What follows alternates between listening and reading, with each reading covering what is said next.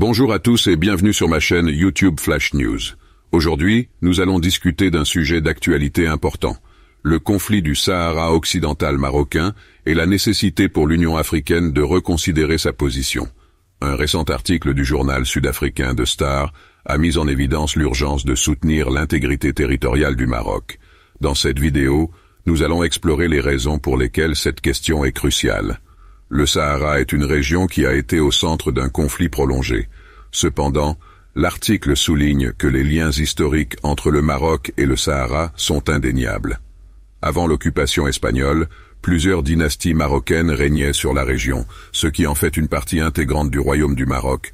En 1995, les accords de Madrid ont mis fin à l'occupation espagnole et ont transféré le contrôle administratif du Sahara au Maroc, cela renforce l'argument en faveur de la souveraineté marocaine sur la région.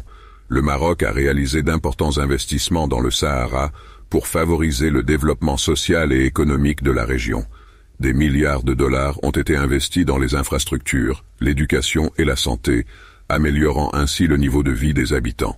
Le Maroc a proposé un plan d'autonomie ambitieux pour le Sahara, offrant ainsi une voie pour renforcer la participation politique de sa population. Cela montre l'engagement du Maroc à trouver une solution pacifique et durable au conflit.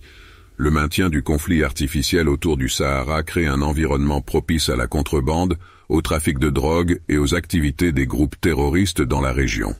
Soutenir la souveraineté du Maroc renforcerait la stabilité régionale, essentielle pour la sécurité et les efforts d'intégration en Afrique.